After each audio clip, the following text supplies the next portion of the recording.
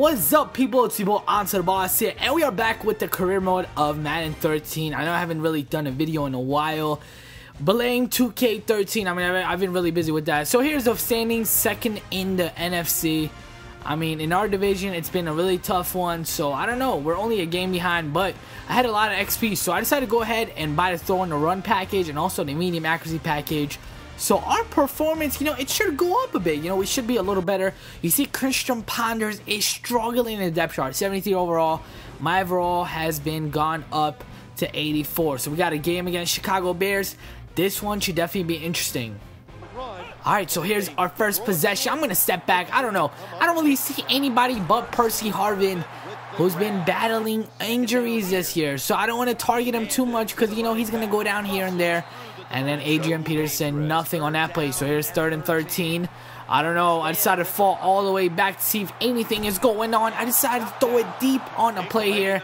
And that one almost gets intercepted. So we were like, hey, forget the field goal. Let's go for it here on fourth down. Perfect pass to right and he was able to get the touchdown and we were able to get the first touchdown of the game. But you simulate into the third quarter and you see we're struggling. Jennings gets the interception and with the score already being 16 to 7 he's gonna take this one in for the touchdown. So uh-oh.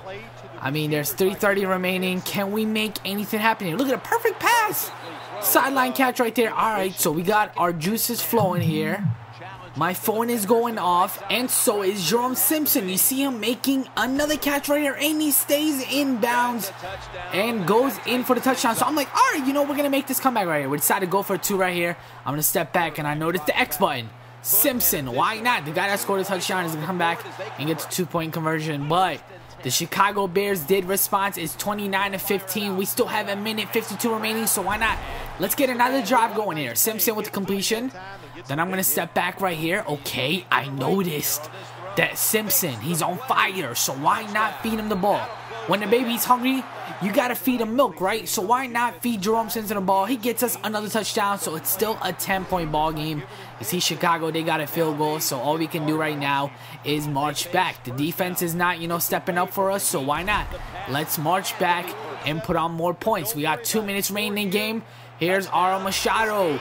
He gets another touchdown for us, and just like that, we cut it to a field goal. So we get the ball back with a minute remaining.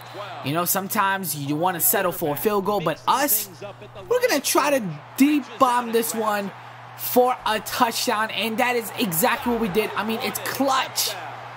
It is clutch. We were down by a lot, and we came up at the end with the victory. So that was it. Now, following week number 14, we got the Rams here in week number 15. So let's see what's going to happen. And everybody is set for this matchup between the Minnesota Vikings and the St. Louis Rams here at the Edward Jones Dome.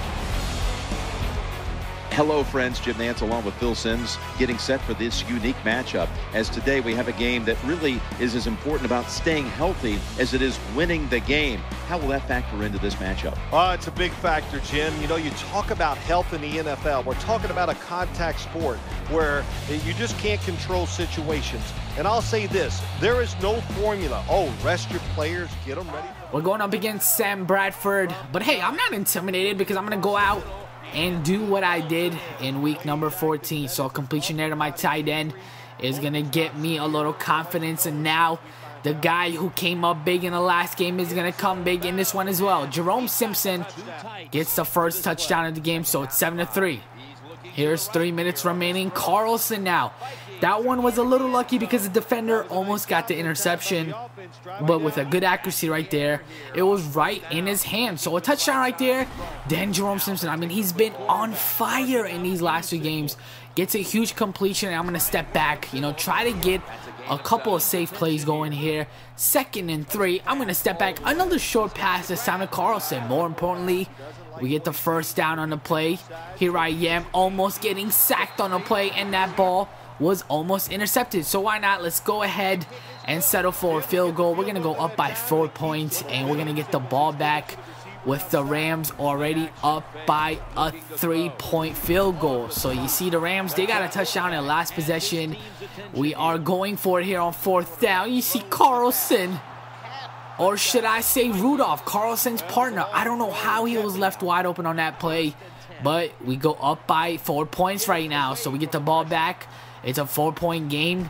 This is a crucial possession because with this possession right here, we're going to kill the clock and make sure the Rams don't get their ball back. So they have three timeouts remaining, but it's these types of plays that's just going to ruin a game for the opposing team. A huge completion by Jerome Simpson, and then there is Adrian Peterson. He's going to tackle this one in for a touchdown. And that pretty much breaks all the hopes for Sam Bradford and the St. Louis Rams. So back-to-back games, week number 14 and 15, we come up big. So I'll see you guys in the next episode where we will wrap up the regular season games. It's a wonderful time.